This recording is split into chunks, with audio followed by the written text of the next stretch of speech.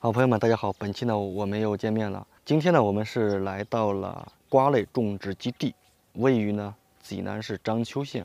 这个瓜类基地呢，主要是种植甜瓜和哈密瓜以及西瓜呢为主。大家知道呢，瓜类呢是虫虫是特别严重的，尤其是对一些种植五年甚至到十年时间的一些棚，那么出现死苗和烂棵的情况是非常严重的。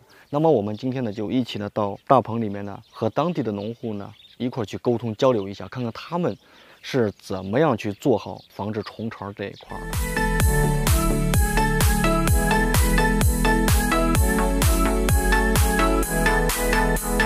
孙师傅啊，听说您这块啊种植这个瓜类啊，已经有差不多几年的时间，十几年，十几年吧，十几年了。可以说你这个经验现在已经很丰富了啊。您知道现在咱们农户啊，现在最头疼的一个话题啊，就是。连续的种植这个瓜类这个作物以后啊，呃，很多时候整个生育期死苗烂棵非常的严重。那么像您这块一般是怎么样去解决这个问题的？我看您这个棚长势就非常的不错。您这个棚现在种了几年了？五年，五年时间能达到这个长势是很不错的啊。呃，那么您是如何去解决虫虫这块的？一般就是闷棚啊，充实一些微生物这种菌剂啊。也主要就是就门棚啊，门棚和这个冲这个微冲这个微生物菌剂，对对啊，主要靠这两块来进行啊，对对啊，呃，您认为这个门棚一般效果大吗？门棚有效果是有效果，但是不那么很明显，不是很明显，对对啊，主要还是靠您说的这个微生物菌剂是占据一大主块啊，嗯嗯，像您这块这个微生物菌剂啊，你一般用的是什么样的微生物菌剂呢？从去年开始我用这个艾菲特，呃，您感觉是怎么样的？从今年的这个长势，叶片的厚度。茎秆的粗度、根系什么的缓苗啊，又加这个整齐度，啊，都都可以变。这个微生物菌剂里面，相当于它就直接有这个促进生根的成分的啊。看看你这根吧，叶片状样，根呀，啊，哦，这毛根都已经扎出来了。对对对，啊。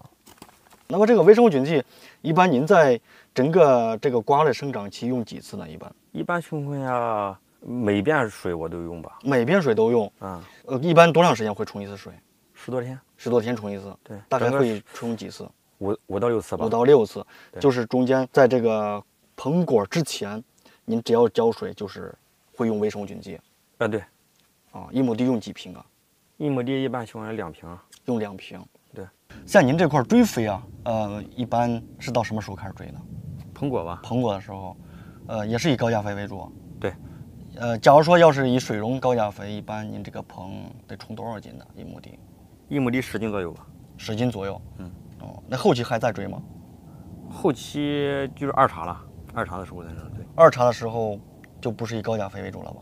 也是高钾，也是高钾肥。嗯。经过和孙师傅交流以后啊，孙师傅这个一亩地是种了一千一百棵，原来的时候它基本上一亩地呢大概会损失掉，就是逐渐的会死掉一百多棵苗。按照现在的市场价位呢，一斤这个瓜呢大概是在四块五到五块之间啊，可见呢一百多棵就已经是五百多斤。按照收购价五块钱来算，就已经将近是两千块钱左右了。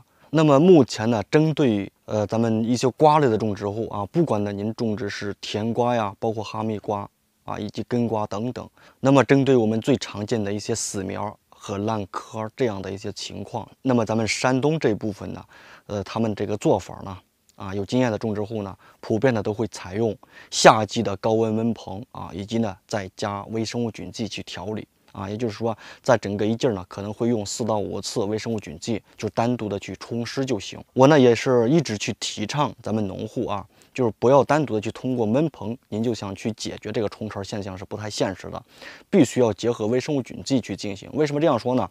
微生物菌剂。它呢本身就具有促使根系生长和发科的作用。第二个呢，也可以同时呢去解除土壤中啊这个磷和钾的固定啊，去解磷解钾这样的一些作用。因为我们连年的用化肥啊，土壤是严重偏酸的，所以说我们就需要用这个微生物菌剂呢，也来逐渐的调理土壤，从而呢来减少土壤这个酸化引起的一个虫虫啊引起的一个呃死苗和烂壳的一个情况。